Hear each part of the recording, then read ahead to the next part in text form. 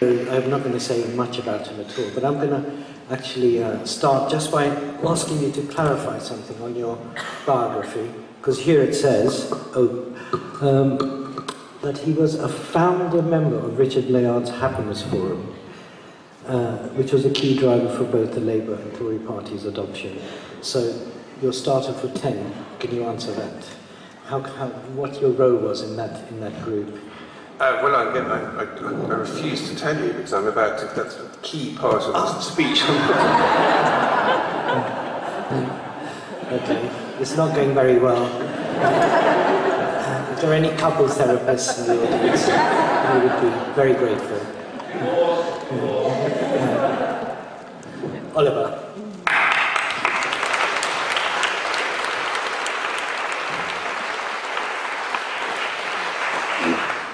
Actually, uh, it's, it's, rather fun for me to come to Dartington because uh, I have strong positive memories of it. Two of my sisters were at school here, and uh, uh when it was a louche, progressive uh, school, I envied my sisters because um, attendance at school lessons was voluntary.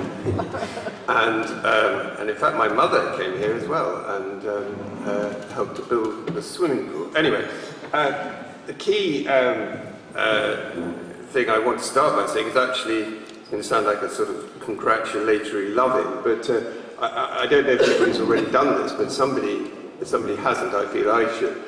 Uh, we should all put our hands together to thank Farhad for having actually organised this event, having, having got off his arse and actually done something about it. The rest of us all sit around um, moaning, but he has actually been an activist in setting up this conference, and uh, I, am extremely grateful for the opportunity to speak here, and I think we should now clap.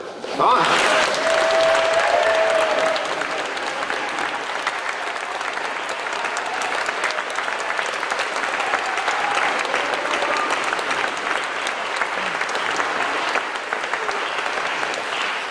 I'm, I'm going to give you a sort of uh, quick crash course in, in the history of how CBT came to uh, achieve its prominence. Although, in fact, the title of the conference, nice way to get it, but I don't think I said that. And I, th I think I said the CBT scam, is I think what I suggested we call it, but uh, Farhad's a little bit more diplomatic. um, and uh, both accident, I happened to be working uh, as a research fellow after I qualified as a clinical psychologist. Uh, and in 1981, I, I was working at a, at, a, at a, sort of what a friend of mine used to call the Institute for Mumbo Jumbo, which was called the Brunel Institute of Organisational and Social Studies. And basically, uh, it advised health service people on how to, how to sort of manage things better, which was totally ridiculous. And um, one of the things that colleague of mine was involved with, rather, rather to my interest, was um, uh, trying to help two clinical psychologists who in 1981, now some of you are old enough to remember 1981, and in 1981 clinical psychologists were a very, very rare species. They were hardly seen anywhere. There hardly were any. And they decided they wanted to create a profession that would be independent of the psychiatrists and have the power and the status and the income uh, that would give them, uh, you know, uh, uh you know, considerable uh, influence within the health service. And they'd actually come, it's very interesting, they'd actually come to BIOS to try and find out how the best way to achieve this was. Um, so they've always been a kind of very well organized group, the clinical psychologists, who are the, are the main drivers of CBT in this country. And uh, if you then um, uh, fast forward to 2002, um, in the Cabinet Office there was a guy called David Halpern. Um, and uh, under the auspices of another guy called Geoff Mulgan, Geoff Mulgan, who uh, set up Demos. Do you remember Demos, the sort of politico-babble Blairite think tank pre uh, pre the election of Blair. Um, Geoff uh, is a very smashing bloke, but a lot of his stuff was very uh, sort of, uh, you know, the third way was one of the, you know, who remembers the third way, eh? Um, and that sort of drivel. And um, uh, Geoff, being generally drawn towards drivel, had, had noticed the happiness evidence and had got young David to do a paper for the Cabinet Office on life satisfaction. And that is really where all the trouble starts, actually, because this was published in 2002 with every single page had this is not government policy in bright red across every page. Um, uh, and you can still find it somewhere on the internet, in which David, who's a scholarly chap, and had gone through all the evidence on life satisfaction. I don't know if any of you have any, ever read evidence on life satisfaction. It's the most superficial uh, form of uh, metric you could ever hope to arrive at asking people on a scale of 0 to 5 on whether they are satisfied with their life. You know, 0 is very dissatisfied, 5 is very satisfied, completely meaningless. Uh, and mostly amounts to a measure of, um, you, know, you know, how many iPods you've got. Um, and Halpern actually has now gone on. He, he then uh, is, is now the, the nudge guru uh, he, uh, in, in, in, in, in the Cabinet Office, or in fact he has a separate unit altogether, all, all his own unit. Um, as a result of that, um, Richard Layard was alerted to this happiness evidence, and in 2003 did indeed set up this happiness forum, and I got an email from him saying, would you like to come and join in? Um, and I thought, well, you know, why not? And, uh, and all sorts of very scholarly people joined in, and, uh, and it was done at the LSE, and we would meet up every so often and um, shoot the breeze about happiness. Um, and now, Richard, of course, I, I had no hesitation in joining really uh, originally because Richard, if you, again, if you're old enough to remember, in the early 80s, it was he who documented the rise in the number of low-income families that resulted from the catastrophic policies of, of Margaret Thatcher. And it was a very dramatic rise, in fact. Uh, you know, in 1979, uh, 19% of children were being raised in a low-income family. That had risen just by 1981 to 31%. And it's basically stayed there ever since, um, ably assisted by Tony Blair, or Blatcher, as I call him. Um, now, Richard um, is, you know, let's be clear, Richard is a very well-intentioned man. He's a very decent man. He's very, very charming. Um, and he was the son of a Jungian analyst, uh, a really old-fashioned Jungian analyst, and was clearly completely put off psychoanalysis for life by that experience. Um, uh, and, um, and I can say, you know, being the child of a psychoanalyst doesn't necessarily put you off that, speaking as the child of two psychoanalysts. Uh, the middle group, you see, not Jungian. Uh, anyway, um, um, and uh, no, I mean, Richard, I think Richard's grasp of the importance of the early years is maybe handicapped a bit because I don't, I, I he, he, he, never actually has been a parent of small children himself, although you know, he's married and he has a step family. Um, and I think it's really important, though, the way that he, you know, he's an economist, and his grasp of, you know, he has, he's also quite elderly, he's probably 10 years older than me, and, and I'm pretty elderly, um, and he, you know, you know, he has teams of researchers who find out things for him, and then he writes them. Very good writer in, in his books. But his grasp of what, you know, the, of the actual original evidence, I think, is limited. Uh, and, and he, for example, endlessly retells, as I'll, re I'll return to again and again in what I have to say this morning, to the claim that genes account for about 50% of why we're like we are. Um, uh, he did write a book, uh, his follow-up to his um, best-selling happiness book about, for the Children's Society about the importance of the early years, but it really wasn't saying, it was, it was a Michael Rutter multifactorial account of the early years. It wasn't actually saying that, that particularly the early years are important. Um, and Richard, uh, you know, gradually I became more and more disillusioned with the happiness uh, forum. Uh, but I, I continue to attend.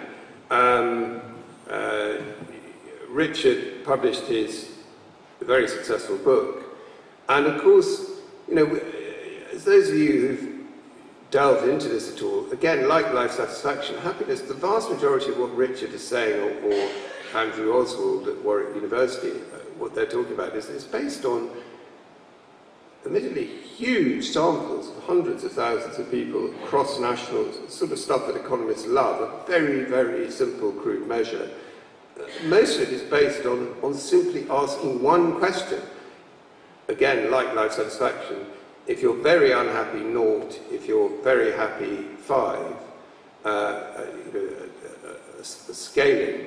Um, and, and then just adding it all up and coming up with a figure for how happy a nation is, a class is, whatever.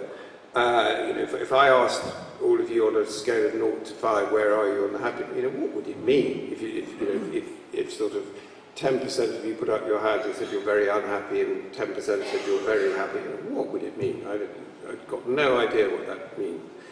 Um, after the happiness book, Richard, Le Richard, Rich, Richard hooked up with David Clark, uh, the professor of clinical psychology at Oxford University, a serious operator. Um, and they recently published a book called Thrive, uh, which is an attempt to justify the IAPT uh, movement, as I shall call it. Um, since it's not science-based, it's more of faith, really. Um, and in Thrive, they make no evidence, no, no reference whatsoever. I mean, it's the most selective, incredibly irritating book you could ever lay your hands on. Uh, it makes no mention of um, Jonathan's evidence of, of yesterday. Um, it, it uh, I think it maybe does have a side swipe at Patrick's evidence somewhere, uh, but its, its main objective is not to even tell you that something like Patrick's evidence exists so that you don't go and look it up. I mean, its objective is to just take you down a tunnel and keep you going on through that tunnel. Um, and, it, and it doesn't make any mention at all of the very well established, very, very uh, considerable evidence that if you take a sample of people who have done, been given CBT for a particular problem, although, as we know, it's extremely hard to find a person who only has panic disorder or only has OCD or only has generalized anxiety disorder. Nearly always people are comorbid, as Drew Westen's uh, famous review of this in Psychological Bulletin shows. Um, but even so, even if you can find these people and give them CBT and then find a matched sample, and if you follow them up, which has been done a fair few times, uh, if you follow them up more than two years, you find there is absolutely no difference in the outcome for the ones who've had CBT and the ones who haven't. And I mean, if you actually go to my website, I put the scientific papers on there, so if you want to actually look at the scientific papers, uh, but there's one particularly telling one, which I'll briefly mention, by Durham, uh, where they had 396 patients uh, in eight clinical trials who'd, who'd, been followed up two to 14 years after the treatment. Um, only, uh, only half of the uh, uh, participants who'd, who'd, had CBT, you know, sorry, half of the participants who'd had CBT had at least one diagnosis at long-term follow-up. Um, and uh, only 18% uh, of the uh, participants had um, no, no symptoms or only mild symptoms. And amongst those patients who had more than one course of CBT, they actually uh, were, were worse than the ones who'd not had any extra CBT. Um, uh, the book skates effortlessly over these kinds of, I mean, that is, you know, a study that is very well conducted, is, is very clearly proving pretty convincingly, when taken with all the other studies of the same kind, that CBT does not work in the long term. Uh, in the book, they when they're discussing the causes of mental illness, um, they, they simply quote twin and adoption studies uh, to support their contention that uh, mental illness is, is, in general, is 50% genetic in cause. Uh, they don't make any mention anywhere at all of the GWAS, or uh, Genome-Wide Association studies of the Human Genome Project, about which many of you will be probably completely ignorant. But the Human Genome Project, I want to speak about very briefly, is an incredibly important thing because uh, they announced the results in 2000. They said they'd only found about 35,000 genes. In fact, it's only 23,000, uh, which was way, way less than they were expecting. They were expecting 100,000 genes. And immediately, one of the key, uh, uh, one of the two lead researchers of the Human Genome Project said, well, that proves that individual difference, why one sibling is different from another, cannot be caused by genes because there simply aren't enough genes. Uh, but that didn't stop people. They went on searching for the genes. And, uh, and, and what they actually uh, found again and again and again, and I mean without exception, is that heritability for any psychological trait at all is only about 1 to 5%.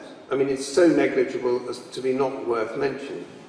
And I've actually written a scientific paper about this, which you can also find on my website. It's going to be uh, published in the attachment journal, the Karnac book, the Karnac Publishing Company's attachment journal, um, uh, edited by Kate White, the Bowlby Centre um, uh, person. That, that uh, you know, the evidence is absolutely water. You know, this is what I am saying is not my interpretation of the evidence. I'm telling you Human Genome Project, it is accepted by all the molecular geneticists who've done it, that they, that they cannot find more than 1 to 5% of the heritability.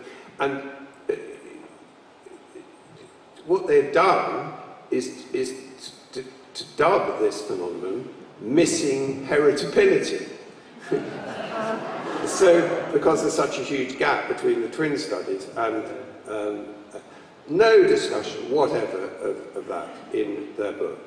Uh, no discussion of the fact that twin studies are very probably going to turn out to be completely discredited. It's going to turn out that twin studies actually prove that shared environment, the shared experience of being in, uh, with, with, the same parents, uh, you know, is a considerable effect, surprise, surprise, on what children turn out like. Um, and uh, that actually it's shared environment which is being misinterpreted by twin studies as being heritability. Anyway, they, they also do a very, a, very, a very curious reading of the evidence of the impact on, of social class and low income on mental illness, which it is very widely accepted that people a, low income in a developed nation are twice as likely to suffer a mental illness from the general from, from people uh, of high income. Uh, incredibly, they, they dispute this. They say, no, uh, we don't think that's true, and it's been vastly oversold, that story. And they have a, an insidious chart uh, supposedly supporting this, which they don't have any reference for. Um, when they're looking at cross-national mental illness, which is a subject that's greatly interests me, psychiatric epidemiology, uh, to, to, my amazement, they, they, they leave out altogether the fact that there are, you know, they say, broadly speaking, everybody all over the world has about the same amount of mental illness. Absolute bollocks. There is absolutely not true.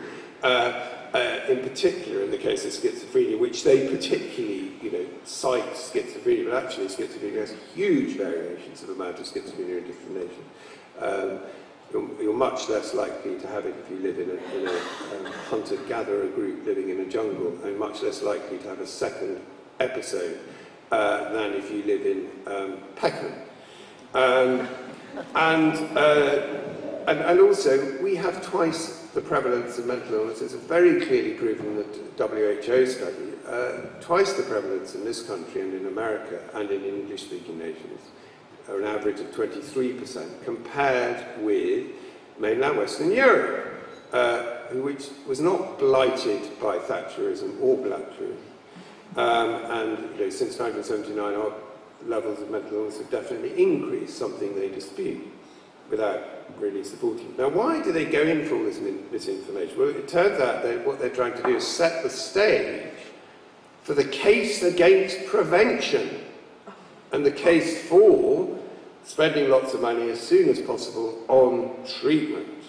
And of course, they've got one particular treatment in mind. Um, they also say, again, you know, they say, well, it turns out that actually it's not really necessary to treat the causes, either the psychosocial causes of the kind that I've been alluding to, or to the individual causes. You can make people cured, and they, they, they don't actually use the word cured, they prefer the word recovered. Uh, there's a lot of weasel words in that book. Um, uh, they prefer the word recovered uh, because uh, uh, because, because they, they could easily be nailed if they use the word cure. Um, uh, but they say that you, you, know, you don't need to, do the, to treat the causes because all you have to do is change people's thought patterns. And they give us an example, the uh, 1998 Omagh bombing, uh, where um, people who were present were studied, and the best predictor of who was traumatized was how they cognized the experience. I mean, a completely empty, vacuous observation can tell us anything at all about why some people cognized it in that way and not others. And what's very interesting, I think, is that when you read this book, is, is that it reads really remarkably like what you'd expect from an old-fashioned, mainstream establishment Maudsley psychiatrist. Uh, not really any different from the sort of person who taught my dad psychiatry in the 1930s, a guy called Aubrey Lewis, who was the kind of Michael Rutter of his time.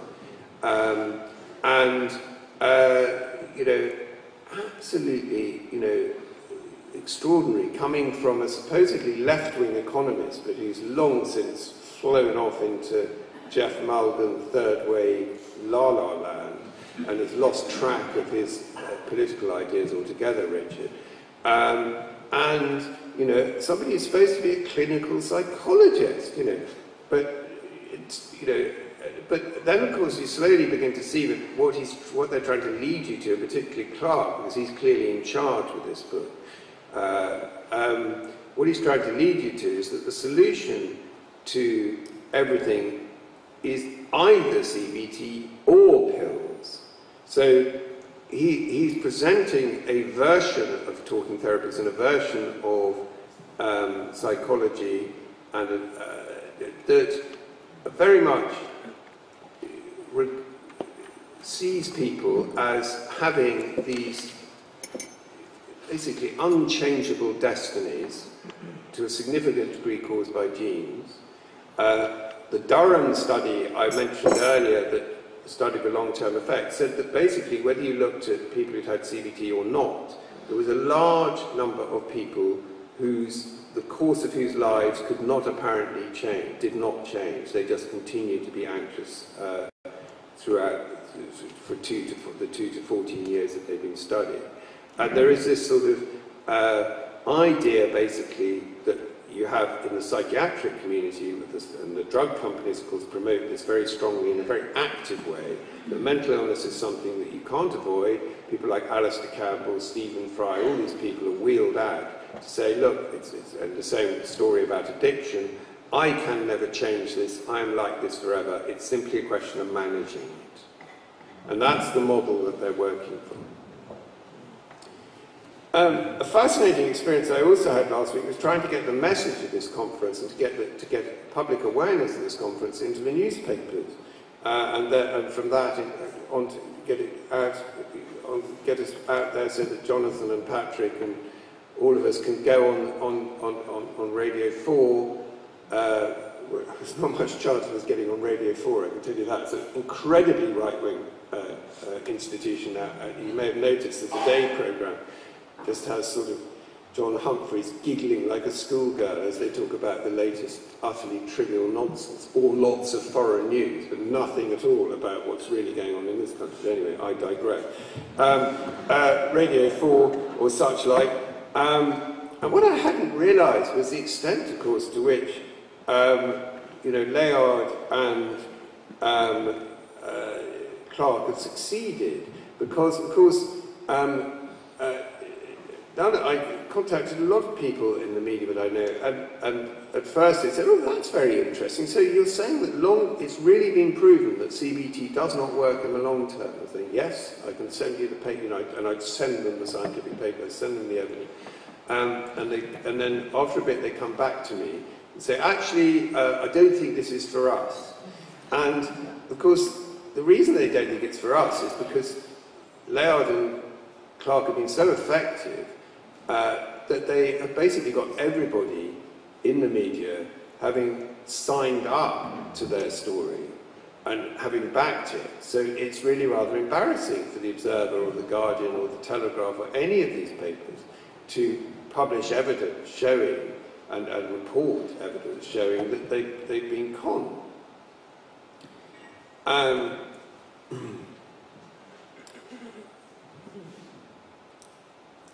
I want to wind up just by saying a few things that I personally found uh, from returning to clinical practice after many years of, of, of working in television and journalism and, and uh, writing books. Um, and I say this because I think it, it simply reinforces my having working again with clients, the extent to which I, I, I really do feel that what I'm assuming most of the people in this room believe is the right way to go, and the theoretical underpinning of it. Uh, that the biogenic model of mental illness in which you assume that your client has a destiny that is etched in their genes and which there is really nothing we can do about apart from manage it with pills or um, the kind of calling black white of CBT. Uh, and, one of the things that has really struck me is the extent to which things are intergenerational.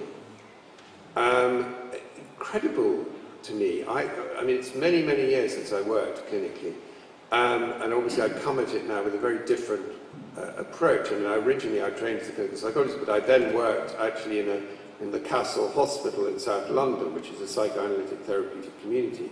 Uh, so I was working obviously within a psychoanalytic model, but this was like in the early 80s. And uh, in those days, I mean, it was interesting, it was before the discovery of child sexual abuse. So um, uh, I remember one of my jobs was to uh, do IQ tests with children who were in the hospital, and I remember doing an IQ test with a five-year-old girl who was coming out with some stuff that you know, my ears were burning. You know, I couldn't. I was thinking, good grief, you know, where on earth did she get that from? Uh, and I went to my you know, Hampstead Clinic trained, old school, steam Freudian supervisor and said, you know, this girl is you know, talking about sexual activity that I just don't believe that five-year-old girls have any idea the words she was using, the specific things she was talking about. And my, and, my supervisor said, um, oh, Oliver, you know, uh, you're, you, are an, uh, you know, you are a man, she is a young girl, of course, what do you expect? What? Absolutely bizarre. And that is how people thought, though. I mean, it's really incredibly hard to remember that, but you have to thank Esther Rantzen, actually. It was a major, for all the irritating characteristics that she may have. uh, you know, it was Esther Rantzen, actually, who, who, who broke it open. Um, anyway, uh, seeing clients now, I, I am stunned by the extent to which things are just passing. Man hands on misery to man. It deepens like a coastal shelf. An incredible role you can play as a therapist, sometimes quite quickly. Uh, one client who uh, was uh, started with me because her seven-year-old daughter was having um, uh, you know, tremendous temper tantrums, more like a two-year-old. And we got into her history, and within a very short period of time, it was quite clear that my client had been treated in, uh, in, a, in a, very uh, emotionally as well as physically abusive way by her mother, who in turn, there was a massive, it emerged, there was a mass of documents, uh, diaries that had been written by my client's grandmother, even her great-grandmother diaries, in which they described having been told by their mother that they were foul, that they were ugly, that they were stupid, and this badness had been punished in them by their mothers. And on it had gone down. And we got it. When we saw this, she, and she was an intelligent lady, and she, soon as she could see it, just at a cognitive level perhaps she could see it, but also by having someone listen to her and all the stuff that we know works, um, she very, very quickly, and also by doing love bombing actually, um, she very, very quickly turned it round, and within uh, you know, 16 or so sessions, her daughter was no longer having temper tantrums, having been, you know, taken off to the psychiatrist, having been treated, you know, uh, labelled in all sorts of ways, having been potentially about to be given pills, etc. Uh, she, the daughter stopped having any temper tantrums. I mean, absolutely incredible.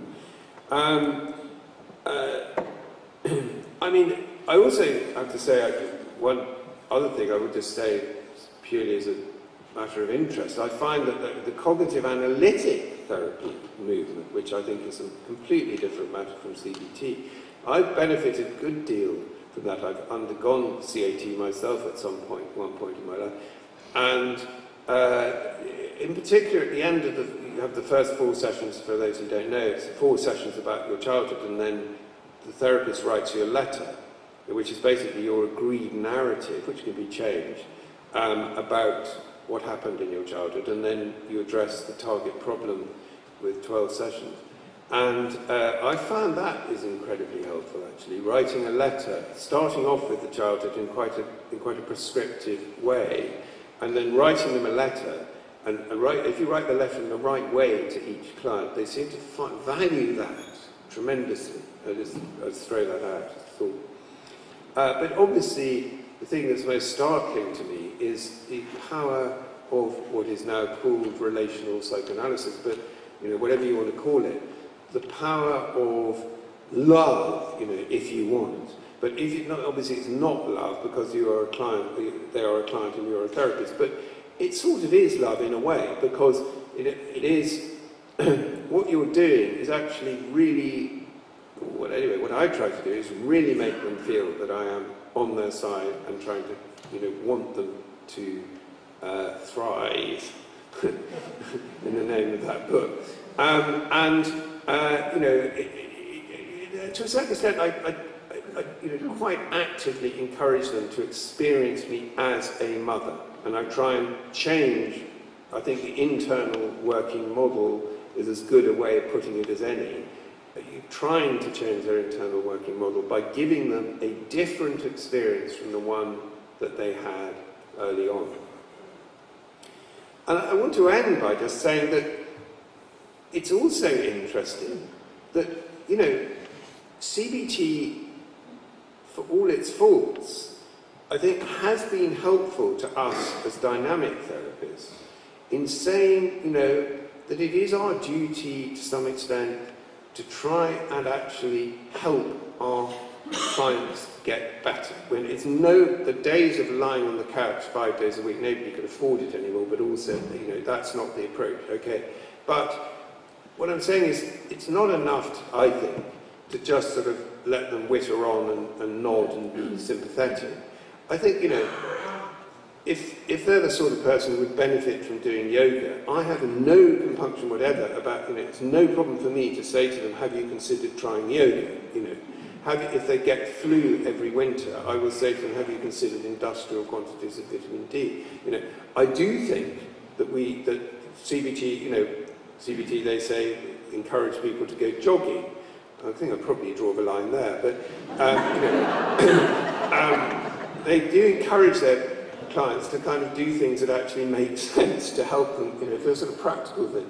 Um, I also think it's fascinating returning to practice that how modern digital devices and communication devices, uh, uh, you know, change things. And that, if you didn't, if CBT had never existed, it might be this dynamic therapist would be slower to pick up on these possibilities. I, I have a pretty, you know, uh, full-on attitude to clients, and I've got two clients at the moment who, who are quite suicidal. And, uh, you know, I, I say to them, you know, you email me if, if you are feeling something. And, and indeed, with one client, we, we make appointment for, for one particular week, we made an appointment each day for her to call me, to talk on my mobile, wherever I was, uh, you know, at a particular time for maybe 10 minutes, and just check in. Um, uh, I use Skype. Uh, I have one client who I have only seen in the flesh three times uh, because of various reasons. Uh, I have a client in Costa Rica I've only met once. Um, and uh, I'm staggered by what you can achieve on Skype. Um, again, that kind of, you know, CBT, to be fair to them, they have said, you know, we just need to do anything. I mean, a lot of them are charlatans. I remember somebody telling me he was training at UCL, and she said, um, how about something or other? Um, and her supervisor said, look, the way to define CBT is we'll do anything that works. You know, but which he meant is, is you know, a completely, you know, we'll just steal any ideas from anybody and not give any credit, um, is what he meant. But uh, I think there is another way of looking at that which is much more positive. Having said that, you know, I think we, you know, live in what I've often called, we become a nation of shock till you drop. Credit fueled, it could be you, uh, you know, consumer junkies. Um, CBT, of course, it appealed to Alastair Campbell, although it didn't work for him, uh, nor did the antidepressants. Um, uh, of course, it appealed to the many depressed denizens at the top of New Labour who all started coming out as depressed. Do you remember at the end, like Blunkett and all these people suddenly started coming out as depressed? Um, of course, it appealed to them. They wanted a quick fix. They got there uh, with salesmanship. Um, CBT is a form of salesmanship to yourself.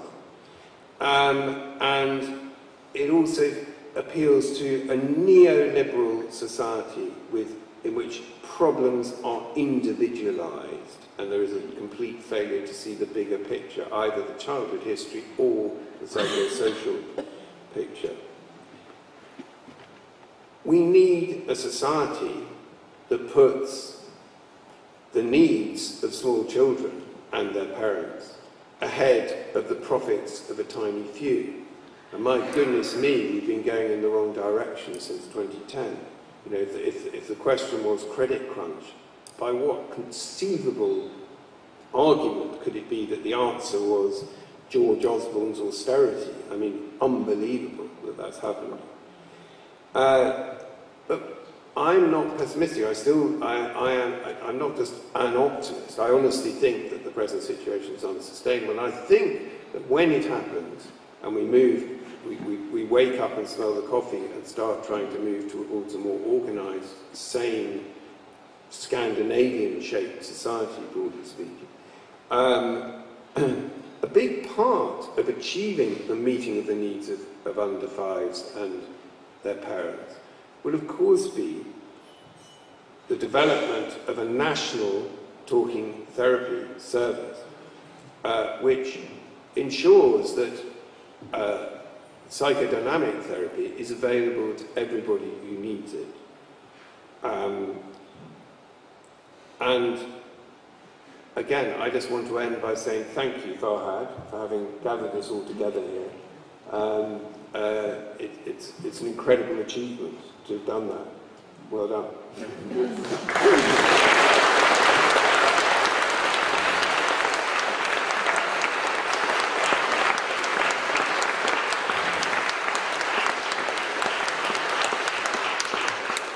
I want to say thank you, Oliver. You brought down the tone of our conference. and, and, we love you for it. We're, we're very glad you haven't taken the fellowship and keep on fighting. Thank you.